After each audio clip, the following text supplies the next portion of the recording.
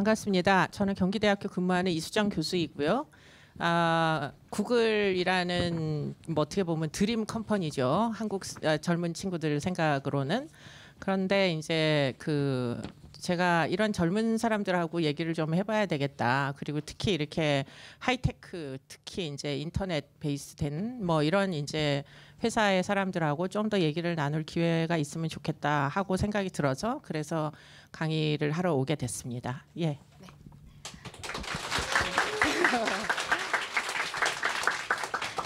일단 저희가 좀 더 세션 들으면서 잘 이해할 수 있도록 교수님에 대해서나 이제 범죄 심리학에 대해서 먼저 좀 말씀을 어, 여쭤보려고 하는데요. 일단 저희가 가장 대표적으로 잘 알고 있는 그것이 알고 싶다를 굉장히 오랫동안 지금 자문을 해주고 계시는데 좀 처음 자문을 해주게 되신 계기라던가 범죄 심리학이라는 이런 학문을 좀 연구를 하시게 된 그런 계기가 좀 궁금한 것 같아요. 음, 글쎄요. 예, 경기대학교라는 곳에 제가 근무하는데요. 경기대학교 가기 전까지는 저도 20년 후에 제가 이런 주제로 이렇게 사람들 앞에서 떠들게 될 줄 전혀 예상하지 못했어요. 어, 그냥 성실한 학생이었고 그리고는 이제 심리학 박사를 했고 심리학 중에서는 측정 평가 쪽을 전공을 했어요. 그렇기 때문에 이제 측정 평가를 하는 많은 이제 다른 선생님들도 생각하시는 게 결국에는 심리라는 게 눈에 안 보이잖아요. 그러니까 눈에 안 보이는 거를 보이게 만드는 방법 을 이제 연구하고 개발하는 게 이제 제 전공 영역이었다. 이렇게 보시면 되겠고 경기대학교에 가기 전까지는 이제 조현병 환자들을 데리고 연구를 좀 했었어요 한동안. 컴퓨터를 이용을 해가지고 그들의 어떤 반응의 그 특이성 같은 것들이 인지 과제에서 어떤 식으로 다르게 이제 반응을 하는지 일종의 개인차를 좀 더 개량화된 방법으로 어, 어떻게 보면 차이를 눈으로 보이는 방식으로 구현해낼 수 있느냐 이런 데 이제 관심이 있어가지고 그런 연구들을 주로 했었는데 일단 그 주제로 연구를 할 때는 제가 별로 저라서 뭐 도움이 될 거라고 생각이 들지 않았던 게 조현병 환자들은 특이하게도 무슨 과제를 갖다 줘도 보통 사람들보다 다 기능이 떨어지기 때문에 뭐 과제의 특성이 아니라 개인의 특성이 너무 강력한 집단이라 가지고 사실 연구자 입장에서는 별로 그렇게 연구를 해가지고 뭐를 얻을 수 있을지 사실 좀 뭐 성과가 이미 다 나와 거대한 연구의 이제 결과물들이 있고 거기서 뭐 크게 벗어나는 연구를 할 것 같지도 않고 그러던 와중에 이제 경기대학교에서는 심리학과가 없어요 우리 학교는. 그래서 교양학부에서 심리학 교수를 뽑는다고 해가지고 당시만 해도 90년대 말이었기 때문에 사실 여자들이 교원으로 교직에 가기가 굉장히 어려웠습니다 그때는 남녀 차별도 심하고 이래가지고 그래서 심리학과의 여자 교수들이라고는 거의 손으로 꼽을 정도밖에 없어가지고 에이 그냥 교양학부라도 어쨌든 내 전공을 가리키면 되는 거니까 apply를 해보자 해가지고 이제 apply를 했는데 그때 생각보다 쉽게 이제 학교가 되면서 나중에 알고 보니까 이제 경기대학교가 유일하게 교정학과가 있는 학교였어요. 그러다 보니까 이제 교정학과에서 범죄자들 교도소에 수감돼 있는 사람들의 이제 심리 특성 같은 걸 토대로 해가지고 그들을 분류 심사라는 게 이제 행정법에 보면 분류 심사를 해서 위험한 사람들은 이제 보안 수준이 굉장히 높은 데다 수용을 해야 되고 위험하지 않은 사람들은 보안 수준이 좀 낮고 뭐 경우에 따라서는 외부에 일하러 나갔다 들어갔다 잠은 이제 교도소에 가서 자지만 뭐 소위 개방 교도소라는 데 수용할 수도 있거든요. 그러니까 이제 누구를 어떤 이제 개호 의 방식으로 관리를 하는 게 가장 안전할 거냐. 그것을 이제 개발을 해야 되는 과제가 경기대학교에 이제 법무부로부터 넘어왔는데 문제는 뭐 측정 통계를 할 사람이 없어가지고 결국에는 이제 그 일을 한 2, 3년 동안 처음에 이제 했어요.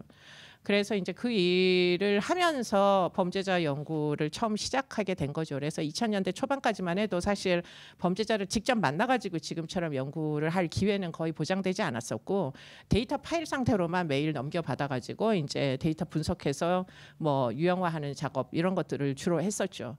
그러다 보니까 이제 2002년도에 이제 해외 파견을 나가게 됐는데 그 나가게 된 이유가 사실은 심리학자라는 사람들은 기본적으로 사람을 만나는 거를 이제 모든 본인의 이제 전공이라고 생각을 해요. 만나 가지고 심리 검사도 해보고 면담도 해보고 뭐 이 사람이 정상인지 무슨 정신 질환이 있는지 뭐 이들이 인지적으로는 뭐 어떤 특이성이 있는지 사람을 보는 게 이제 직업이다 보니까 한 뭐한 2년 반 정도 그렇게 이제 데이터 파일 상태로만 재소자들을 만나다 보니까 뭐 이래 가지고는 내가 도대체 이 분야에서 계속 지금 이 학교에서 도움을 줄 수가 없겠다라는 게 이제 주요한 이유였고 그리고는 이제 대학원에다가 특수 전공을 만들겠다. 왜냐하면 뭐 우리는 학부에 교정학이나 경찰 행정학은 있어요. 그러니까 굉장히 어플라이드된 전공만 있는 학교예요. 그러다 보니까 이제 대학원에다가 범죄 심리학과를 만들고 싶은데 네가 맡아라 이런 종류의 이제 얘기가 됐는데 사실 제가 범죄자를 만나본 적이 없는 사람이에요. 뭐 범죄를 저질러 본 적도 없고 범죄 피해를 당해본 적도 없고 대체 범죄 심리가 뭔지 내가 어떻게 아느냐고 학교에다가 이제 부탁을 해가지고 파견을 좀 내보내 주십사 이렇게 부탁을 했는데 다행히 어, 뭐 하여튼 파견을 나가게 돼서 사실은 미국에서도 교도소가 제일 많은 거의 이제 귀양살 이 하다시피 했어요. 거의 뭐 대도시로부터는 제일 가까운 대도시가 뭐 한 네시간 다섯 시간 걸리는데 제일 이제 교도소가 많이 몰려 있는 지역이 있어요. 그리고 가장 이제 형사 정책이 엄격한 이제 state 주가 그 텍사스 주였는데 거기는 아직도 사형을 한 달에도 몇 명씩 사형을 집행하는 주예요.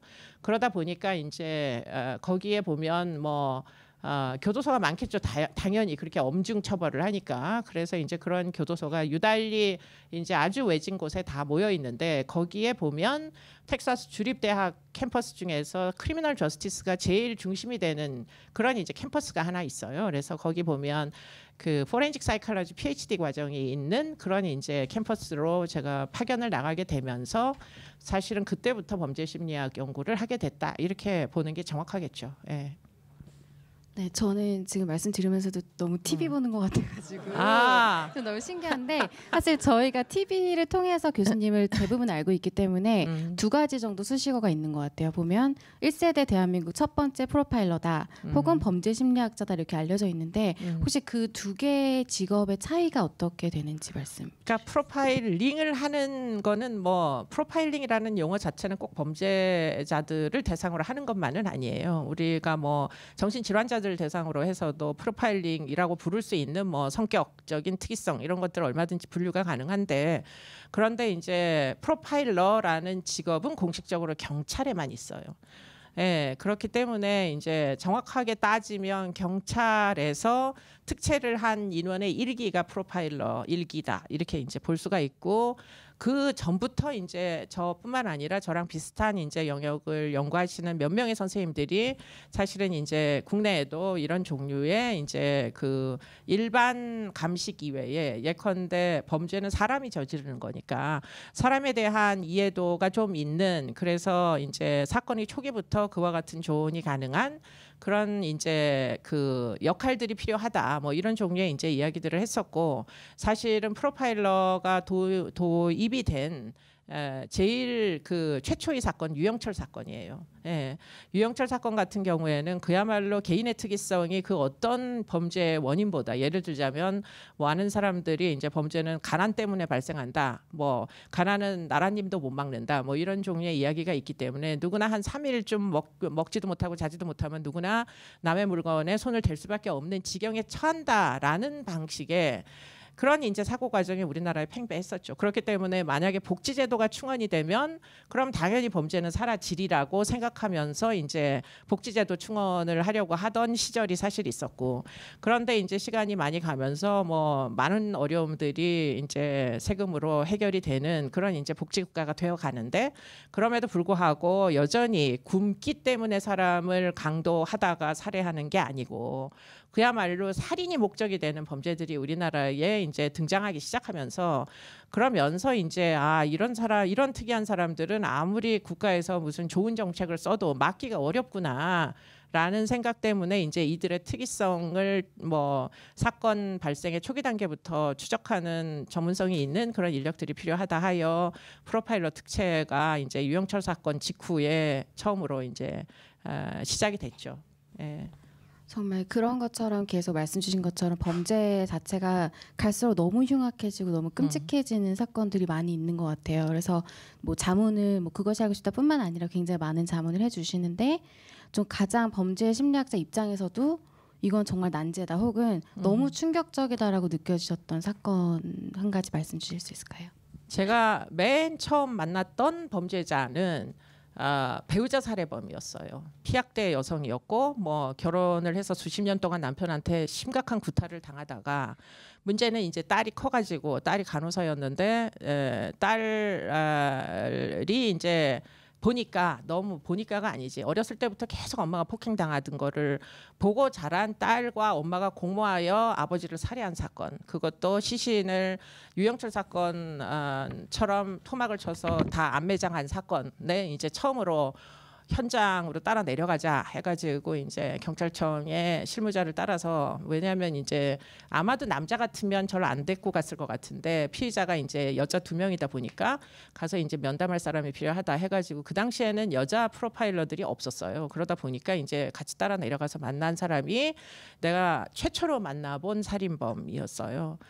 그래서 이제 그때 그 사건을 보면서 야 너무나 왜냐하면 저도 이제 결혼해서 생활 아이가 있고 뭐 결혼 생활을 했고 그분도 이제 결혼해서 이제 결혼 생활을 하던 사람이다 보니까 더 이제 공감이 됐는지 모르겠지만 그 여성은 살인범이라고 이제 경찰에서 수사를 해가지고 이제 그 수사 뭐 동기 범행 동기에 대해서 이렇게 적고 뭐 이제 송치하기 직전이었어요. 그래서 그 문서를 저에게 보여주는데 거기에 어떻게 써 있었느냐면 뭐 부부간의 불화가 있던 중 앙심을 품고 남편을 살해한 사건 이렇게 정의돼 있더라고요. 그러니까 간단히 써야 되는 거는 동의하지만 문제는 정말 평생 동안 피학대를 받다가 도저히 이제 어, 참지 못하여 뭐 엄마가 먼저 달겨들어서 싸우던 와중에 딸이 도저히 두고 볼 수가 없으니까 딸이 아버지를 공격을 해가지고 결국은 둘이 아버지를 살해하고 나니까 뭐 시신을 어떻게 할 도리가 없으니까 텔레비에서 본 대로 토막을 내서 이제 그 엄마랑 모녀가 밤새 이제 갔다가 매장한 사건인데 그런데 이제 뭐 사후에 이제 살해 후에 그런 행동은 정말 비난받아 마땅하지만 정말 그 마지막 순간에 남편 폭행하는 남편에게 달겨들 때의 그 아주머니의 심정이 어땠을까가 갑자기 공감이 되면서 그 수사 기록에 있는 앙심하고는 좀 거리가 먼 것 같다 이런 생각을 어렴풋이 했었고 아마도 심리학자가 아니었으면 그 앙심의 문제 제기를 하지 않았을 수도 있겠죠. 예. 그러니까 소위 이제 앙심은 고의가 분명한 살해의 의요 뭐 의지가 분명한 사람들이 앙심을 품고 계획적으로 뭐 고의적인 살해를 하는 거고 지금 이 여자는 남편을 죽이는 게 목적이 아니라 자기가 살겠다는 게 목적이었기 때문에 그야말로 외국 같으면 피학대 여성 증후군을 적용하기에 매우 적합한 그런 상황이었는데 그런데 그런 것들이 수사 기록에 전혀 반영돼 있지 않은 걸 보면서 아 그 순간에 이제 든 생각이 아 심리학자로서 내가 나름대로 나름대로 이바지할 방향이 존재하겠구나 하는 것을 그때 어렴풋이 느꼈어요. 그거는 미국을 가기 전이었던 것 같고 그래서 이제 아 이게 범죄 심리학이라는 거를 해도 이게 뭐 나머지 시간 동안 어차피 심리학 박사는 따고 직장도 생겼으니까 내가 뭔가 좀 도움이 되는 일을 하고 싶다 그런 생각이 얼핏 들면서 같은 애엄마로 그 애엄마가 그런 선택을 할 수밖에 없었던 부분에서 그래도 내가 전문가라면 뭔가 좀 도움을 줄 수 있는 면이 있지 않을까 하고 그냥 어렴풋이 생각을 했었어요. 근데 이제 그 사건은 더 이상은 뭐 어떻게 해줄 수가 없는 제도라는 게 하나도 되어 있지 않던 시절이다 보니까 그런데 지금은 지금은 이제 뭐 형사법도 개정이 되고 2008년도에 개정이 돼가지고 그 전에는 이제 민사소송법에만 전문가 참여를 해서 뭐 판사가 모르는 영역이 너무 많으니까 손해를 다 민간인들이 책정을 해야 되잖아요. 민간 전문가가 뭐 다리가 무너졌다. 그러면 판사가 뭐 손해가 얼만큼 발생했지 알 수가 없으니까 토목 전문가들이 참여해야 되고 그렇기 때문에 민사소송법에서 먼저 전문가 참여를 할 수 있는 제도가 도입이 됐고 지금은 형사소송법이 개정이 돼서 2008년도부터는 전문 심리위원 제도를 운영을 해요 법원에서. 그래서 그 이후에는 이제 저도 그런 배우자 살해 사건 이런데 전문가로서 거의 아마 한 2년에 한 번 정도씩은 재판에 참여를 했던 것 같고 물론 아주 희귀한 사건입니다. 1년에 한 건 정도 일어나는 사건이에요. 이런 사건들은 그러나 여전히 현재 진행형이에요. 우리나라는 그러니까 아무리 뭐 우리가 문명 국가가 되고 OECD의 뭐 상당히 랭킹이 높은 그런 국가가 경제적으로 된다 손 치더라도 우리의 사고 방식은 여전히 30년 전이나 40년 전이나 뭐 여성은 또 여성에 대한 선입견은 여전히 지금 그렇게 뭐 어떻게 보면 가정 주부는 뭐 가장이 중심이 되는 그런 가정 내에서 어떻게든 화목하게 순종하면서 살아야 된다 이런 이제 생각들이 여전히 있기 때문에 그런 가부장적인 사고의 연장선상에서 사실 그런 여성들이 우리나라는 아무리 뭐 피해를 오래 당했다 손치더라도 정당방위가 인정이 안 돼요. 아직까지 단 한 건도 배우자 살해 사건에서 정당방위 인정된 케이스가 없기 때문에 그렇기 때문에 사실은 어쩌면 이제 어, 더 매달리게 된 이유가 에, 지금 뭐 이런 여러 가지 일들에 연루되게 된 이유가 됐을 수도 있겠다 그런 생각은 해보죠. 예. 지금 말씀 주시는 게 그러니까 결과적으로는 피해자가 가해자가 되는 그런 그렇죠. 예. 사건들이 네, 네. 아직도 사실 매스컴을 통해서 보면 많은 것 같아요. 근데 그렇죠. 그게 꼭 여성이어서일까요? 아니면 혹은 저도 이제 시청자 입장이나 삼자 입장에서 봤을 때 가장 억울한 게 억울해 보이는 것들이 우발적인 살인이냐 계획적인 살인이냐에 대해서 굉장히 그런 피해자였던 가해자들이 음. 더 무거운 형량을 받는 것 같아서 음. 그런 부분에 대해서는 혹시 어떻게 생각하시는지 그러니까 아직도 그 피해자들에 대한 이해도가 충분하지 못해요. 그러다 보니까 그 이제 마지막 순간에 어떤 자기 방어적 공격 행위의 우발성 같은 것들을 잘 인정하지 않고 그리고는 이제 또 거기다가 뭐 여러 가지 남존 여비 사상 이런 것들이 여전히 있기 때문에 뭐 본인이 시인을 하든 시인을 하지 않든 남자든 여자든 사실은 우리 머릿속에 나도 모르는 사이에 그런 종류의 이제 고정관념 편입 편견 같은 게 사실은 아주 오래부터 학습이 돼 갖고 오는 거예요.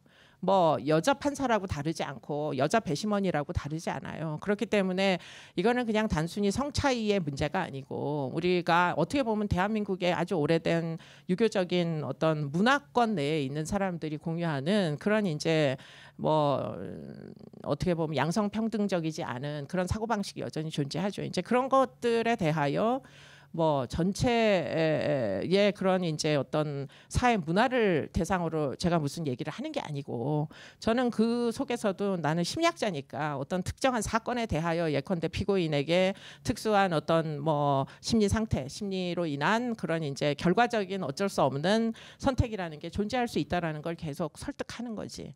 물론 지금까지 다 실패했어요. 하나같이 어, 정당 방위를 인정한 케이스가 없기 때문에 지난 10년 동안 나의 일들은 모두 실패로 끝나긴 했으나 그러나 뭐 그러든지 말든지 간에 뭐 어, 제가 하는 이제 내가 무슨 일을 해야 되는지 이제는 안단 말이죠. 그건 큰 차이가 있어요.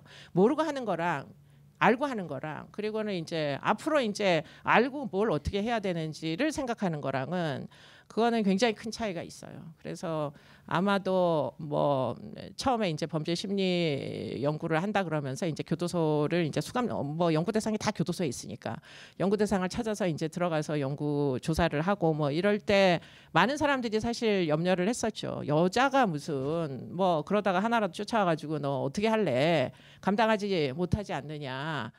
아, 우리 어머니 친정 어머니도 관둬라. 이제 교수 됐으면 조용히 연구실에 앉아서 어, 뭐 이렇게 우아한 여교수를 해도 충분한 이런 시간이 왔는데 무슨 짓거리를 하고 돌아다니는 거냐 이렇게 이제 이야기를 하셨었는데 그런데 지금 와가지고 생각해 보면 아 그 순간의 선택 예컨대 그렇게 이제 할지 아니면은 그냥 내가 궁금한 거를 계속 쫓아서 연구를 할지 를 이제 두 개를 놓고 사실 선택했을 때 이제 와서는 이쪽을 선택한 게 잘한 일이다 라고 생각이 들지만 그때 그 당시에는 저도 이제 굉장히 갈등이 있었죠. 왜냐하면 아이들이 어렸었기 때문에 아이들이 어리지 않았으면 내가 부담이 훨씬 적었을 텐데 아이들이 있는 엄마로 위험에 스스로를 노출시키는 거는 사실 아이들도 노출시키는 거랑 진배가 없었기 때문에 이게 잘하는 짓인지 사실 그때로서는 사실 굉장히 좀 고민도 많이 됐어요. 예, 우리 친정 어머니가 걱정을 많이 하셨죠. 그런 면에서 근데 뭐 이제는 친정 어머니도 치매가 되셔가지고 전혀 살이 분별력이 없어지셔서 뭐 제 걱정을 못 해주시니 다행이고 뭐 저도 이제 우리 아이들도 다 컸으니까 뭐 자기 보호를 자기가 할 수 있으니까 그것도 다행이고 뭐 저도 이제 옛날 같지 않아요. 이제 아줌마가 되니까 이 아줌마로서 느낄 수 있는 그 어떤 뭐 심리적인 안정성 이런 것들이 저절로 나이가 먹으니까 아, 달성되는 게 있어요. 그렇기 때문에 지금은 뭐 역시 그래도 어, 그런 선택을 하기를 잘했다. 뭐 이게 결론이죠. 예. 네, 그럼 조금 더 교수님께서 성공하신 분야로 넘어와서 음. 사이코패스 얘기를 좀 여쭤보고 싶어요. 그래서 네. 저희가 이제 범죄의 끝에는 항상 사이코 살인 사건의 끝에는 사이코패스 아니면 소시오패스가 항상 나오는 것 음. 같은데 그 둘의 차이점? 이라든지 혹은 그 사람들이 다 내재적으로는 갖고 있을 것 같은데 정말 범죄로 이뤄지게 되는 그런 트리거 음. 같은 게 있을지 약간 궁금한 것 같아요. 그러니까 사이코패스라는 용어는 학술 용어는 아니에요. 그러니까 학술지 검색을 해보면은 전부 사이코패 아니 저 소시오패스라는 용어는 학술 용어는 아니에요.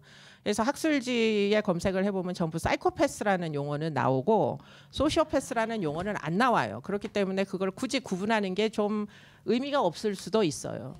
소시오패스는 옛날에 쓰던 용어예요. 40년대, 50년대에 평생 상습적으로 범죄를 저지르던 먹고 살만한데도 범죄를 계속 저지른 자가 그때도 왜 없었겠어요 서구 사회에서 그러다 보니까 쟤네들을 부를 용어가 필요한데 뭐 어쨌든 반사회적 항- 해- 행위를 하니까 반사회적 사회적 규준에 어긋나는 사람이니까 소시오 패스다 이렇게 이제 불렀던 거죠.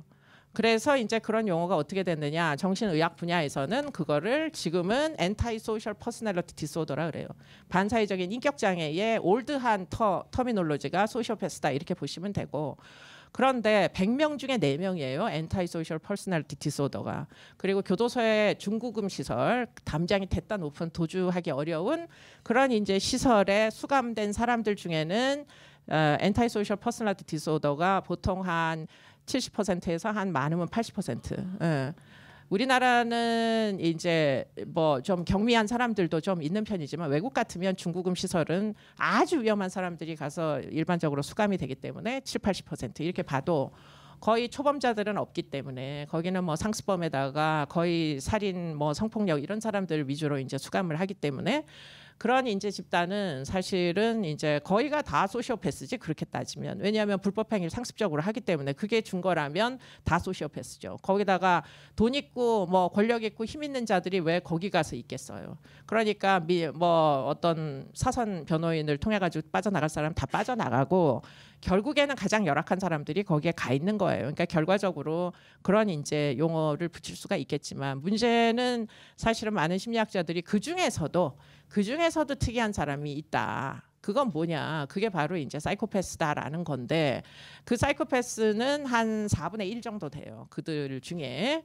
그런데 이 4분의 1의 특이성은 뭐냐면 4분의 1은 일반인들 같이 느끼지 않는다는 문제예요. 결국 이제 심리적인 특이성들이 있는 거지. 이들의 가장 큰 문제는 사실은 뭐 무책임하고 뭐 잦은 무슨 비행 행동과 양심의 가책을 못 느끼고 뭐 이런 다양한 리스트들이 있지만 그러나 그 중에 제가 느낄 때 연구자로서 느끼는 가장 특이점 중에 하나는 공감을 못해요. 타인에 대한 공감 능력이 현저히 떨어진다. 그렇기 때문에 이제 우리가 실제로 심리학 실험들을 많이 하거든요. 보통 이제 공감을 잘 느끼는 사람들은 타인에게 있어서 발생하는 emotional cue를 빨리 캐치를 해요. 그래서 다른 주변 사람들이 뭐 갑자기 출근을 했는데 굉장히 표정이 좋지 않다. 또는 뭐 훌쩍훌쩍 울기 시작한다. 내지는 뭐 야밤에 혼자 자고 있는데 어디서 비명 소리가 들린다. 이러면은 보여야 되는 티피컬한 예컨대 타인에게서 구조 시그널이 있을 때 불쾌한 구조 시그널이 있을 때 자연스럽게 보여야 되는 그런 자연적인 어떤 공감의 반응들이 있어야 돼요. 인간이 되기 위해서는 사실은 무엇보다도 공감 능력이 생겨야 그래야 그때부터 인간다운 모습을 할 수가 있어요.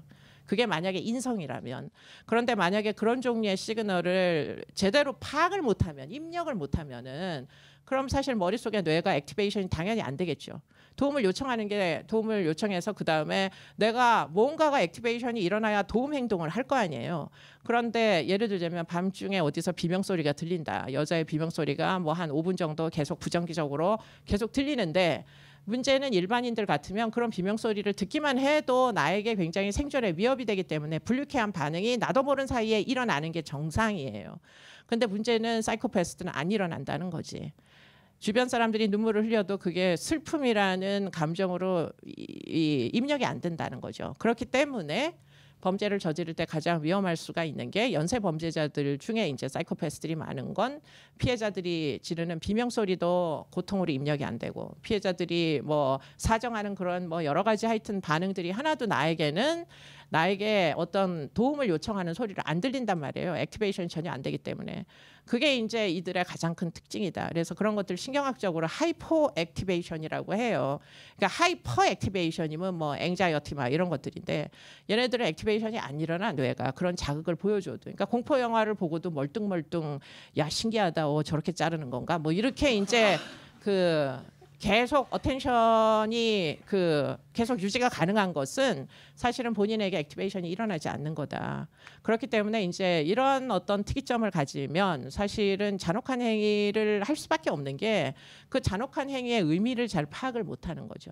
음. 그래서 이제 그런 사람들이 가장 잔인하죠. 보통 일반적으로는. 예. 그렇다면 사실 저희도 이렇게 뭐 트러블이 있는 사람들이 있으면 많이 쓰게 되는 말이 저 사람이 공감 능력이 없다 음, 이렇게 생각하는 사람들이 있는 것 같은데 예를 들면 소시오패스나 사이 그 지금 말씀하신 그런 하이퍼인 사람들이 반드시 범죄자가 되는 건 아닌 건가요? 그런 건 아니에요. 그러니까 우리나라든 뭐 외국이든 범죄자는 범죄를 당연히 저지르겠죠. 저질렀는데 문제는 형사 소송 절차든 뭔 소송 절차에서 재판 절차에서 범죄자 범죄를 저질렀다고 입증이 안 되면 다 빠져나가겠지.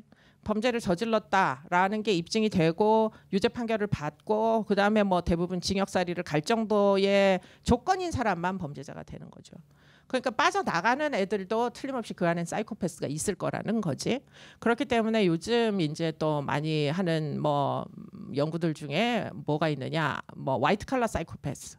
그러니까 친사회적인 테두리 내에서 아주 여러 가지 환경적인 뭐 우호적인 이런 요건들 때문에 보호를 받긴 받는데 문제는 하는 행동이라고는 교도소에 수감돼서 한 열번쯤 전과가 있는 사람하고 다르지 않은 행동을 하는데 똑같이 성폭행을 하는데 얘네들은 다 빠져나가고 얘네들은 전부 처벌받고 뭐 그런 이제 사람들을 추적하는 연구 같은 것들도 실제 해요. 예. 그런데 굉장히 어렵지 사실은. 그래서 뭐 예를 들자면 뭐 히틀러 같은 사람이 가장 대표적인 사이코패스다. 유태인들을 그렇게 학살하면서 유태인들의 고통을 이해하지 못하잖아요. 그러니까 이제 그런 식의 어떤 특이성들이 있는 사람들은 이제 사회적인 테두리 내에서 성공하는 사람도 존재하는 거죠. 예. 그럼 여기서 잠깐 조금 캐주얼한 말씀을 여쭤보고 싶었던 게 또 저희가 궁금했던 것 중에 하나는 그런 것들을 저희도 매스컴을 통해서만 사실 접하게 되는데 교수님도 그런 뭐 수사물이라든지 약간 뭐 다른 다큐가 됐건 좀 즐겨 보시는 게 있으신지 참고용이 됐건 혹은 엔터테인먼트로. 요번에 무슨 뭐 방구석 일렬인가? 그 영화를 이렇게 그 주제로 하는 TV 무슨 토크쇼 같은 게 생겼어요. 그래가지고 저한테 범죄 연구, 아 범죄 영화를 두 편을 보고 와가지고 참석을 해서 얘기를 나누자 해가지고 이제 두 편을 지정했는데 하나가 뭐 그 뭐지 에, 추격자였고 다른 하나가 이제 화성 연쇄살인이 주제였던 살인의 추억인가 그걸 이제 보고 와가지고 이야기를 하자고 그래요. 근데 이제 저는 범죄 그런 영화를 별로 좋아하지도 않고 제가 싫어하는 거는 범죄 재현하는 거는 더 싫어하고 별로 안 봤어요. 그런데 이제 안 본 이유가 왜 안 봤는지 제가 그 영화를 보면서 깨달은 게 추격자라는 영화를 보니까 거기에 이제 유영철 사건을 주인공 뭐 어떤 그 단서를 해가지고 영화가 이제 제작이 됐는데 거기 보면 서영희라는 영화 배우가 나오는데 그 서영희가 죽어가는 과정이 피해자 범죄 피해자가 연쇄살인범에 의해서 집요하게 결국은 도주할 수도 있었던 상황에서 다시금 그에 의해서 살해되는 장면이 이제 쭉 나오거든요. 그러니까 피해자를 제가 잘 만나려고 안 하는 이유가 피해자를 만나서 그 고통을 내가 이해를 하면 할수록 범죄자 연구가 불편해져요. 음. 그래서 나는 교도소에서 범죄자들을 주로 만나도 별로 그들을 죽이고 싶은 생각을 별로 느껴본 적이 없는데 나의 연구 대상이기 때문에 굉장히 나는 귀중한 존재들인 거죠. 아, 연구자 입장에서는 그들이 얼마나 귀중하겠어요. 정말 가물에 콩나듯이 만나는 기회이기 때문에 그렇기 때문에 정말 애걸복걸 해가지고 겨우 이제 사람들을 만나게 되니까 저로서는 굉장히 귀중한 기회여서 그 기회에 이제 몰입하느라고 그들이 저지른 얼마나 비도덕적이고 끔찍한 행위에 대해서 적개심을 갖고 분노할 기회가 별로 없었는데 그 추적자 추격자라는 영화를 보고는 서영희라는 영화 배우가 워낙 연기를 잘하시다 보니까 거기에 막 몰입이 돼가지고 정말 처음으로 아 이 자를 죽이고 싶다. 어.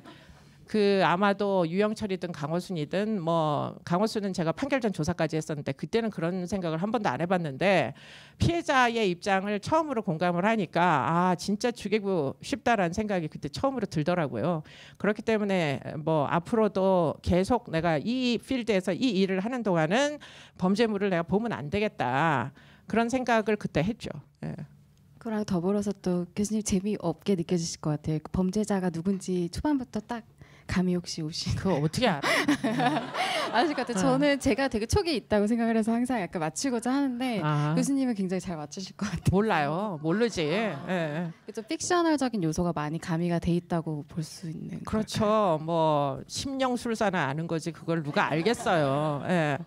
그런데 이제 우, 저희 우리도 하는 일이 뭐가 있느냐면 재범 예측이라는 필드가 있어요. 그러니까 형사 정책은 뭐 예상되는 위험을 어떻게든 막아야 될 거 아니야. 어떻게든 형사 정책 시스템 내에서 관리를 해야 되잖아요. 1년에 성범죄가 한 3만 건 정도 일어나요. 그런데 그 중에 가장 위험한 사람을 지금 전자발찌를 채워놓는 거예요. 출소한 이후에도 그 위험이 삭감되지 않았기 때문에 그렇기 때문에 이제 그것을 재판받을 당시에 예견을 해서 전자발찌 착용을 해야 되는 자들을 속아내야 돼요. 그런데 전자발찌를 우리나라에서 제도화한 지가 10년이 지났어요. 2008년도에 만들어졌단 말이에요. 지금 2018년이니까 그러면은 이제 10년 동안 만약에 3만 명을 처음에 계획은 성범죄자들에게 다 채우는 거였으니까 3만 명을 만약에 10년 동안 채웠으면 30만 명이 차고 있겠죠. 그러면 30만 명이 사방천지에서 초등학교 앞을 배회하기도 하고 밤에 늦게 들어가는 사람도 있고 술을 마시고 왔다리 갔다리 하는 사람도 있고 전자 신호로 그게 관리가 되겠어요, 안 되겠어요? 안 되죠. 온 데서 다 시뻘 걸 텐데 전부 다 온데 가지 말라는 데를 다 돌아다녀가지고 그러니까 이제 어떻게든 그 속에서 가장 위험한 사람을 속아내야 되잖아요. 그러니까 이제 그 위험한 사람을 속아내는 기준을 이제 제가 만들어서 납품을 했는데 법무부에다가 그걸 만들 때 우리가 이제 뭘 가지고 이걸 예견을 해야 되냐 하는 걸 놓고 굉장히 많은 이제 여러 가지 연구 자료들을 봤는데 실제로 그와 같은 제도는 영미권 국가에서는 굉장히 일반화된 제도예요. 뭐 영화가 좀 있어서 뭐 이렇게 부정적인 면이 많이 부각됐지만 사실 우리가 예견하려고 하는 뭐 미래의 범죄는 인구 전체를 대상으로 하는 게 아니에요. 전과가 열번 이상씩 되는 사람, 성범죄를 막 일곱 번, 여덟 번 저, 저지른 사람, 이미 살인을 두 번씩 저지른 사람, 이런 사람들 대상으로 이런 사람들은 이미 이미 기록 안에 다 있어요. 모든 그 사람의 미래가 과거에 다 있는 거지. 어떻게 있느냐? 출소한 지 6개월을 혼자 살 수가 없어요. 이런 사람들은. 자신의 성질을 본인이 스스로 자제할 수가 없기 때문에 나가면 먹잇감들이 널려 있거든. 초등학교 앞에 애들 널려 있지. 여자들은 온 야밤에 마트를 혼자서 막 에, 짐을 들고 막 방어도 못하는 상태로 돌아다니지. 온 애들은 다 이어폰 끼고서는 전부 무방비 상태로 돌아다니지. 사실 내가 만약에 프레디터다. 그러면은 사실 먹잇감은 이 세상에 너무 널려 있잖아요. 그러니까 이제 그럴 만한 사람을 찾는 거예요. 그 사람들의 과거력이나 그 사람들의 삶의 조건을 다 뒤져가지고. 그러면 그것은 사실은 그렇게 어려운 얘기는 아니거든. 그러니까 이제 지금은 일년에한 300명 정도씩 이 차게 돼서 3만 명 중에 한 300명 정도면 거의 굉장히 낮은 비율이죠. 이들은 보통 사람들은 절대 아니에요. 그렇기 때문에 이제 이들에게 채워놔서 지금은 현재 차고 있는 인원이 한 3천 명 정도 되거든요. 이들은 진짜 재범 위험성이 됐다 높은 사람이라 처음에는 이제 그 기준을 만들고서는 굉장히 많은 사람들이 네 기준이 맞냐 재범 예측을 한다 그랬으면은 이거를 채워 놓은 사람들이 진짜 재범 가능성이 높은 사람이어야 되는데 그걸 네가 어떻게 입증하겠냐 이런 질문들을 굉장히 많이 받았는데 지금은 어느 법원에서도 그런 질문을 아무 데서도 안 해요. 왜 그럴 것 같으세요? 전자발찌를 끊고 달아나기도 하고 전자발찌를 찬 채로 성범죄를 저지르기도 하고 그들이 모두 우리의 가설을 다 입증시켜주고 있다 보니까 어떻게 보면 연구자로서는 참 다양한 일이긴 한데 어, 뭐 어쩔 수 없이 여하튼 여전히도 현재 진행형으로 범죄를 워낙 많이들 저지르니까 그러니까 이제 더 이상 그런 질문을 받지는 않죠. 음. 근데 그런 거 보면 특히 성범죄 같은 경우는 굉장히 재발률이 엄청 높잖아요. 근데 다른 엄청 해외 높은 이제 음. subpopulation이 있어요. 네 근데 그렇지 않은 사람도 많지. 예를 네. 들면 해외 같은 경우는 특히 뭐 아동 성범죄라든지 이런 경우에 뭐 정말 형량을 100년 이렇게 받는 경우도 있잖아요. 사실상 음. 무기징역 같은. 음. 근데 한국에서는 너무 형량이 낮다고 생각하진 않으시나요? 형량이 낮은 데다가 그러니까 우리나라의 이제 성범죄 그 우리나라의 형사사법 시스템에 가장 이제 중심에 누가 있느냐 피해자가 있지 않아요. 누가 있어요? 가해자가 있는 거죠. 피고인에게 억울하지 않게 합리적 의심을 넘어설 정도로 무죄 추정을 끝까지 하면서 기회를 주고 변론 기회를 주고 그러다 보니까 성범죄는 모든 사건 중에 입증하기가 가장 어려운 사건이에요. 물적 증거가 없기 때문에 흉기도 없고 뭐 DNA도 확보하기가 어렵고 그러다 보니까 조금 전에도 무슨 뭐그 TV의 무슨 토크쇼에서 그러니까 토론에서 그 아, 아이 15살짜리 아이를 임신을 시켜 가지고 성폭행하고 임신을 시켜 가지고 결국에는 이제 심지어는 동거도 하고 그랬다가 어쨌든 아이가 출산하고 난 다음에 이 아이가 에, 뒤늦게 내가 옛날에 15살 때 이제 사실은 이 남자와 성관계를 맺은 건 사실 성폭행이었다. 왜냐하면 그 아저씨 42살이었는데 15살짜리 아이가 입원해 있는 병원에 자기 아들 아픈 아들을 병문안 왔다가 그 옆에 있는 아이를 유인을 해다가 성폭행을 했거든요. 연예인 시켜준다 이러면서 그런데 문제는 그 판결이 더 이제 문제였는데 1심에서 아주 엄중 전, 전자발찌까지 십수년이 나왔고 항소심에서 그게 줄어들어서 뭐 9년과 또 무슨 전자발찌가 나오고 그런데 대법원에서 무죄 나왔어요. 응. 그러니까 이제 이게 과연 미국 같으면 이게 가능한 얘기겠느냐 영미권 국가에서 를 놓고 이제 한참 다툼이 있었는데 결과적으로는 우리나라의 의제강간 연령은 13세 미만일 경우에만 성립해요. 15세였기 때문에 걔는 의제강간 연령으로 아이기 때문에 보호를 무조건 받는 연령에는 해당되지 않는 거예요. 그럼 그 다음에 어떻게 해야 되느냐? 그 다음에는 이제 나는 절대 사랑이다. 난 처음부터 사랑을 느꼈다. 영원히 사랑이다라고 주장하는 피고인과 어찌 그리 그 진술이 일관성이 있는지 몰라요. 피고인들은 안 했다, 안 했다, 안 했다 이렇게 얘기하던지 이번에는 사랑이었다, 사랑이었다, 사랑이었다 이렇게 이제 주장하는 거예요. 도대체가 자기 아들하고 거의 비슷한 나이 또래 여자애한테 무슨 그렇게 성적인 호기심을 느꼈는지 모르겠지만 어쨌든 사랑이었다는 거고 여자애는 진술이 번복되죠.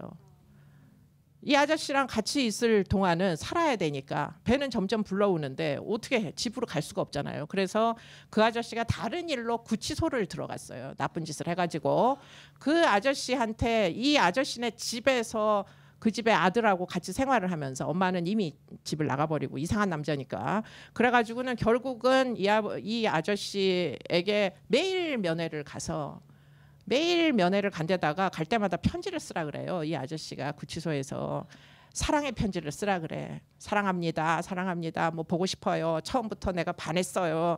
막 그게 편지를 쓰라고 해서 이 아이가 계속 배는 점점 불러오고 올 때 갈 때는 없고 집엔 돌아갈 수가 없고 편지라도 써가지고 어떻게든 이 집에 붙어 있어야 되는데 그래가지고는 이제 이 아저씨 구치소에 있다가 어찌하여 다시 불구속 상태가 돼서 나오고 그러고는 이제 그 아이는 출산을 하게 됐죠. 그래서 출산을 하고 난 다음에 드디어는 이 아저씨가 나를 성폭행했다 이러고선 이제 신고를 하게 된 거지. 그러니까 재판부 입장에서 보면 그렇게 이제 증거물로 다 제출이 됐겠죠. 사랑의 절절한 편지를 매일 쓴 애가 갑자기 어느 순간에 돌변해서 이 아저씨가 나를 15살 때 성폭행했다고 주장하니까 이 주장을 믿을 수 있느냐. 그게 이제 대법원에서 뭐 무죄난 이유가 된 거예요. 음. 그런 일들이 우리나라에는 현재 진행형으로 일어나는 거고 미국 같은 경우에도 일어날 수도 있는데 미국은 의자강간 연령이 15세까지는 보호를 해줘요. 어, 만 16세 미만의 경우에는 의자강간으로 인정을 해주기 때문에 한 중학교 2학년, 3학년 그 정도까지는 어쨌든 아직은 아이다. 그러니까 너는 그렇게 나이가 이제 미국 법은 흥미로운 게 다섯 살 이상 많은 사람들이 경우에는 10대들끼리 연애하는 거는 상관이 없는데 다섯 살 이상 많은 어른들하고 만약에 이런 종류의 일이 벌어졌을 때는 사실은 아이들 위주로 이제 보호를 해준다는 게 분명하기 때문에 아마 이 사건이 미국으로 갔으면 틀림없이 유죄가 아마 중형이 나왔을 거고 더군다나 더 놀라운 사실은 대법원 판결문에 무죄로 이제 판정을 하면서도 무죄 판정의 이유가 당시에 이제 맨 처음에 만났을 때 그 관계 출산 이후에 이제 성폭행이라고 주장하는 것 말고 처음에 이 아저씨와 관계를 맺어갈 당시에 사실은 이 아저씨가 성폭행이라고 이제 이 여자아이의 의사에 반해가지고 한 행위라고는 믿기가 어렵다. 왜냐하면 같이 동거도 하고 막 사랑한다는 편지도 쓰고 막 이랬으니까 그렇기 때문에 이제 쟁점이 좀 되기는 했어요. 그런데 이제 문제가 뭐였느냐면 내가 지금 무슨 얘기 하려고 그랬지? 어, 아 형량 얘기. 예.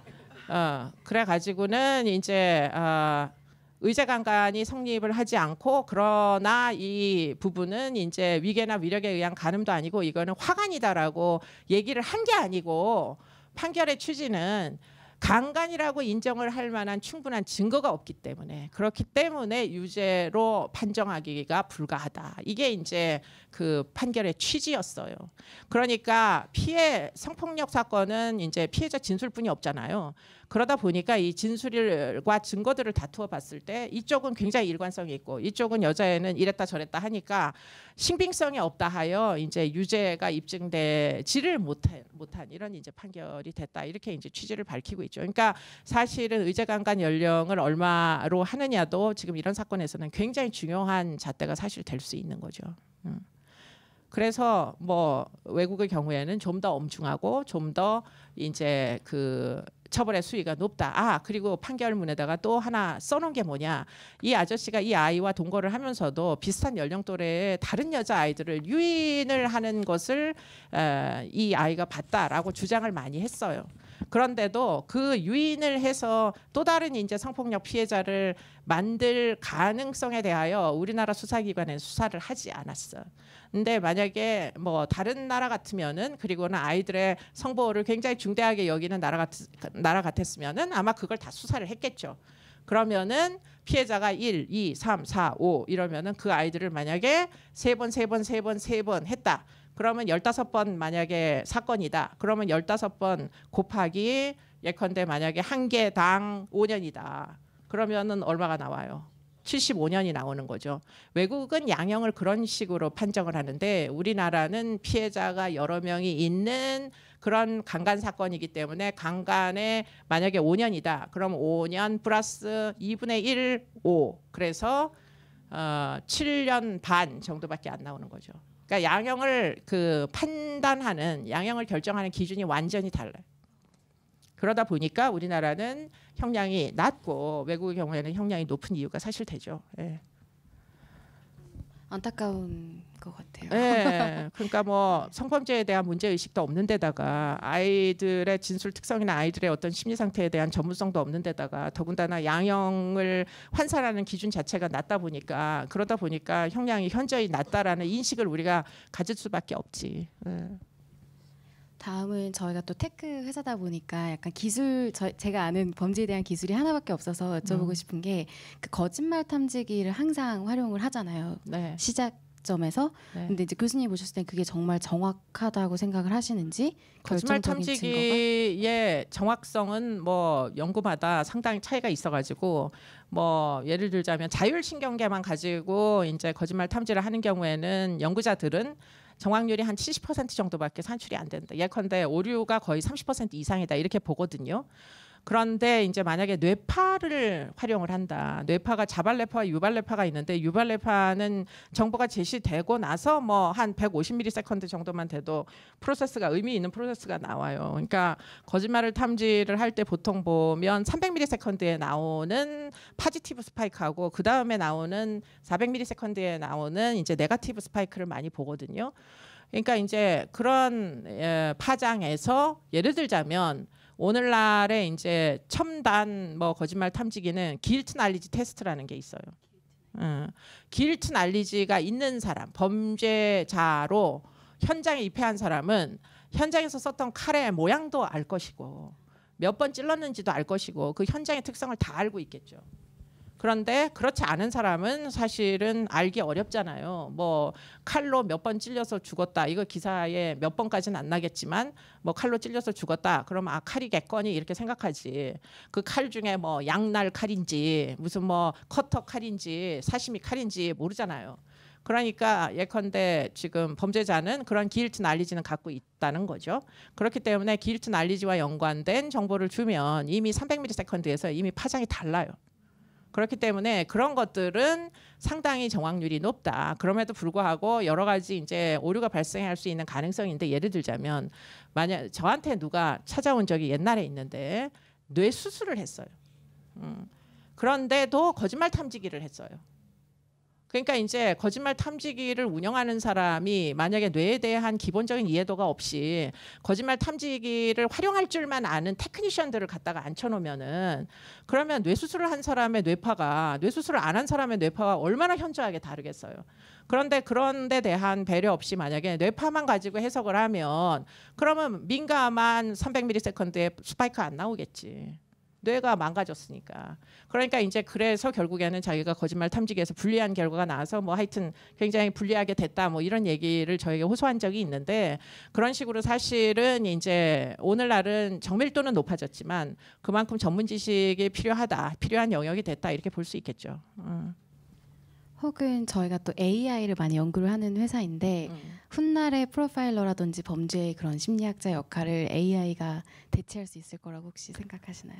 AI가 대체할 수는 없겠지만, 예, 뭐 프로파일러들이 하는 작업은 어, 여러분들이 저를 보시면 대충 짐작이 되겠지만 많은 훈련을 교육을 받지만 상당한 직관도 사실 필요해요. 그렇기 때문에 어, 그냥 다, 단순히 지식의 축적만으로 안 되는 부분들까지 과연 얼만큼 AI가 뭐 그런 이제 그 립을 할 수 있을지까지는 제가 알지를 못하겠지만 제가 오늘 온 이유는 사실은 인터넷이 모든 흔적을 다 남겨요. 그렇기 때문에 이 흔적 속에서 찾으면 상당 부분 의미 있는 정보를 찾을 수는 있을 것 같다. 그리고는 특히 이제 성범죄자들 같은 경우에 본인이 어떤 취향이 있으면은 뭐 다른 이제 범죄도 마찬가지겠지만 뭐 예를 들자면 소아 성애가 있다. 이러면은 물론 아이들 사진을 보면 액티베이션을 특이하게 틀림없이 하겠지만 그러나 아이들 사진을 보기 전에도 맨날 눈만 뜨면 아이들과 연관된 사진들을 검색하고 무슨 영상을 보고 무슨 소리를 듣고 그런 종류의 취미 생활에 흔적들이 있다면 그렇다면 이 사람에게 예를 들자면 아까 무죄 나온 사건에서 피고인이 소아 성애가 있다라는 게 입증이 됐으면 그러면 유- 무죄가 나왔겠어요? 그렇지 않겠죠. 그러나 현재까지의 기술은 그런 것들을 입증할 수 있는 방법이 없기 때문에 그렇기 때문에 물론 그게 직접 증거로 쓰이지는 않겠지만 정황적으로 예컨대 판사들의 심증을 굳히는 데는 굉장히 중대한 자료가 사실 될 수가 있을 거 아니에요. 그렇기 때문에 그런 차원에서 보면 AI가 굉장히 사람들이 할 수 있는 것보다 훨씬 가능성은 있다 이렇게 이제 보이고 또한 가지 반대 급부적으로 어, 그런 종류의 이제 정보들은 정신 세계를 지배할 수도 있어요. 그게 이제 가장 극단적인 사례가 초등 어, 인천 초등학교 살인 사건이에요. 그렇기 때문에 사실은 지금 인터넷 상에 아시다시피 뭐 제가 네이버에 가서도 비슷한 얘기를 한 적이 있는데 트래쉬가 너무 많아요.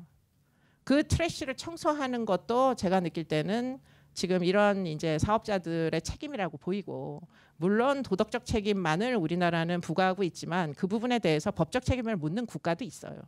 네. 그렇기 때문에 뭐 그런 법이 우리나라에 도입이 될지 안 될지 모르지만 예컨대 클릭 몇 번만 하면 그야말로 원치 않는 뭐 이상한 정보들이 마구 자극들이 뜨는 것들 정도는 최소한 좀 이렇게 AI가 있으면 충분히 막을 수 있는 대안이 될 수도 있을 것 같아서 그래서 예컨대 윤리적인 IT가 될 수 있겠는가.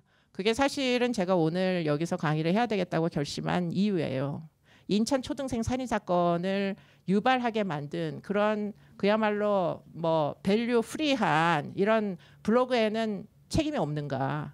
미성년자들이 함부로 들어가서 함부로 그런 정보에 노출될 수 있도록 만드는 기회를 제공하는 것이 그게 표현의 자유로서 보장돼야 되는 권리인지는 잘 모르겠다. 그 생각이 한편으로는 있어요. 예.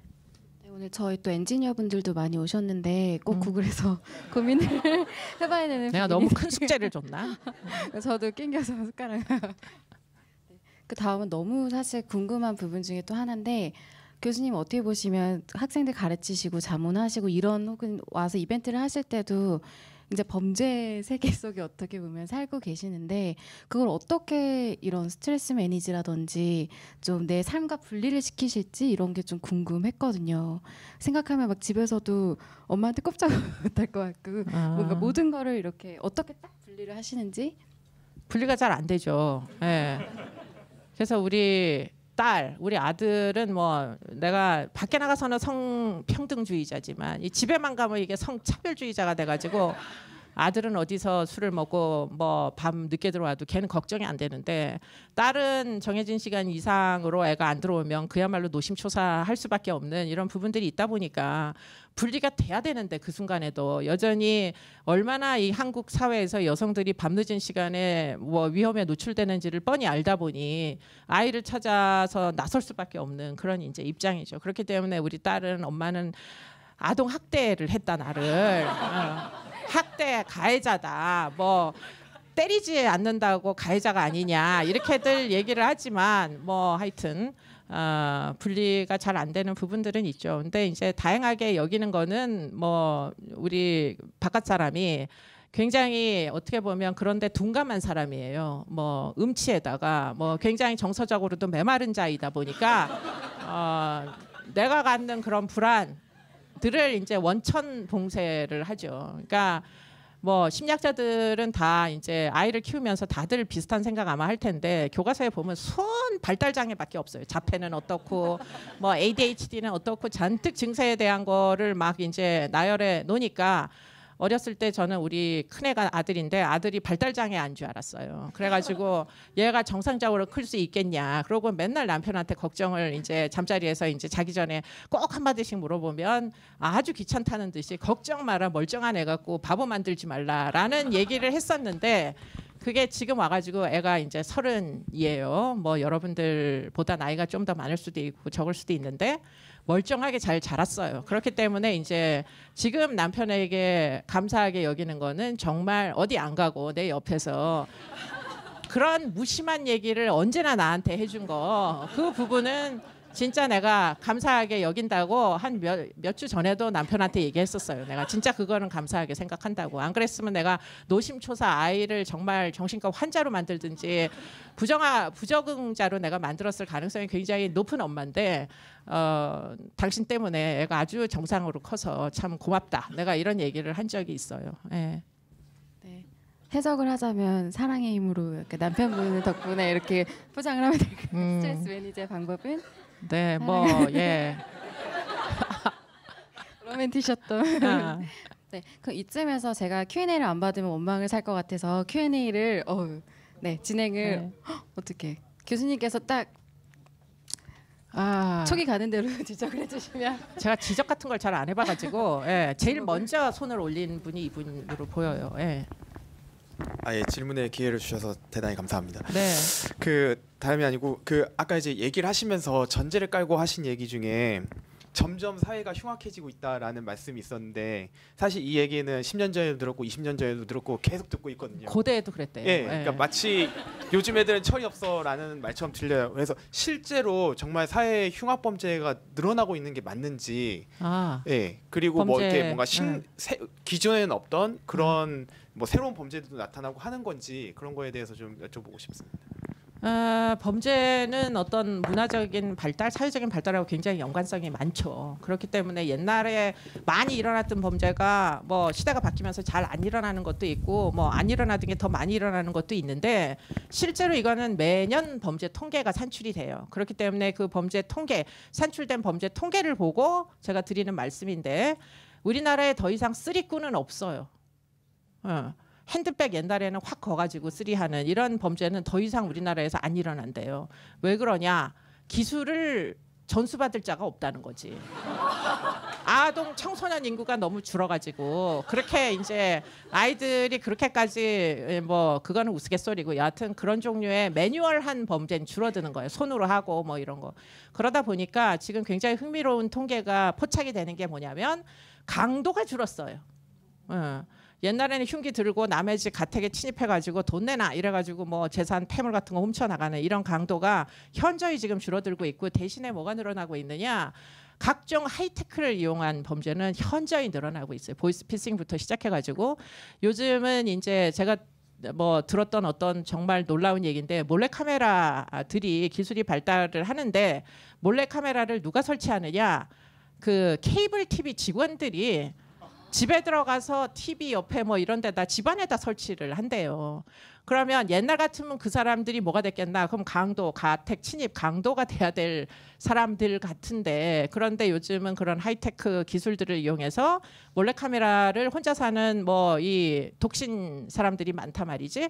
그런데 갖다가 심어 놓으면 옷도 안 입고 막 돌아다니지 뭐 안에서 별짓 다 하잖아요. 남자든 여자든 다 피해자가 될 수 있어요. 그래서 뭐 그런 이제 동영상을 따가지고 온라인에다가 올리면 얻을 수 있는 범죄 수익이 강도처럼 칼 들고 들어가는 것보다 훨씬 크다는 거지. 이건 굉장히 stable하고 계속 수입이 잡히는데 강도는 하, 1회 하면 망하니까 검거되면. 그러니까 이제 그런 방식으로 이 테크놀로지를 이용한 범죄들은 현저히 우리의 상상을 뛰어넘을 정도로 빠른 속도로 늘어나 늘어나고 있다는 거. 그리고는 이제 그것과 연관해서 성범죄는 폭발적으로 증가하고 있어요. 예. 성범죄는 폭발적으로 증가하는 이유가 제일 큰 문제가 뭐냐? 옛날에는 아는 사람만 만나고 살았잖아. 요새는 채팅 앱이나 뭐 온라인을 통해 가지고 모르는 사람들도 얼마든지 만날 수 있다 보니까 특히 이제 성인 여성은 선택을 할 수 있어요 합리적으로. 이건 위험하다 이거는 위험하지 않은 선택이다. 문제는 아동 청소년 장애인들의 성폭력은 폭발적으로 증가하죠. 뭐가 위험한지 잘 몰라요 아이들은. 그리고는 우리나라의 많은 랜덤 채팅 앱들은 그 아이디를 확인을 안해 그러니까 이제 어린애들도 얼마든지 어른들하고 접촉이 가능해지면서 이제 피해자로 내몰리는 경우들이 굉장히 많아졌죠. 음. 다음 질문 받아볼게요. 그냥 뭐 아무나 지적하세요. 예. 저기 마이크 들고. 제일 예. 공손하게 손을 들어주신 예. 아, 여차 감사합니다. 네, 사실 궁금한 게 되게 많은데요. 네, 다른 것도 다른 분들이 여쭤볼 거, 보실 것 같아서 아, 일단 저는 그냥 방송을 사실은 범죄 방송 이런 건 사실 무서워서 잘 못 보는데 가끔 이제 나오시는 방송을 보면 그냥 아이 이 직업은 되게 어떨 땐 되게 뜨겁게 생각해야 되고 어떨 때도 되게 되게 차갑게 생각해야 되고 이래서 되게 힘든 직업이실 것 같다는 생각을 했는데 혹시 아 그래서 이 직업 되지 못하겠네 막 이런 생각이 드실 때가 뭐 있으신지 혹시 뭐 그런 거가 하나 옛날에는 궁금하고요. 네. 있었죠. 예. 음. 아 지금은 없으시. 음. 네 그리고 네. 예, 다른 하나는 아까 그것도 궁금한 건데 어느 정도는 답을 들은 것 같은데 그 훈련과 직관에 대해서 말씀하셨잖아요. 네. 그래서 원래는 궁금했던 게 아 저건 훈련을 하면은 그냥 되는 건가였거든요. 근데 아까 직관이 중요하다고 하셨는데 그게 아 나는 이러 이런 점이 어, 다른 사람이랑 좀 달랐던 것 같아. 이걸 하는 데 있어서 혹시 이런 음. 부분이 있었 있으셨는지 있다면 또 어떤 건지 좀 말씀해 주시면 감사하겠습니다. 음 글쎄요. 예. 일단 제일 뭐 제가 가진 부족한 자질 중에 그나마 이 직업에 지금까지 버틸 수 있었던 제일 좋은 자질은 아마 호기심이 많은 사람이라는 것 같아요. 예. 그러니까 궁금한 거는 어쨌든 해결하려고 한다. 이거는 어, 제가 가진 자질 중에 제일 좋은 자질인 것 같아요. 예. 근데 그걸로 인해 가지고 굉장히 많은 손해도 많이 봤어요. 사실은 예, 에너지도 많이 쓸데없이 이제 많이 했고 그런데 또 지금 와서 생각해 보면 나는 다른 사람들보다 머리가 좋은 사람도 아니고 뭐, 음, 뭐 하여튼 여러 가지 부족한 자질들이 많으나 그러나 그러한 부족함을 아마도 나의 호기심과 끊임없는 그런 이제 그걸 해결하려는 그런 시도로 지금까지 굴러온 것 같다 그 생각은 하게 되죠. 그러다 보니까 뭐 스트레스 어, 수준이 어, 물론 스트레스를 받죠. 그런데 어, 돌이켜 보면 나의 호기심보다 스트레스 수준이 더 높지 않았던 것 같아요. 예. 그리고는 뭐 거절 그러니까 이유 없는 거절을 난 대따 싫어하거든요. 그러다 보니까 이제 연구를 해야 되는데 우리나라의 형사사법 시스템을 위해서도 난 연구를 꼭 해야 된다고 생각해요. 범죄자들만 가지고 있는 답들이 있어요, 사실은. 그냥 뭐 법만 공부해 갖고 결코 알 수 없는 답도 있거든요. 그들에게.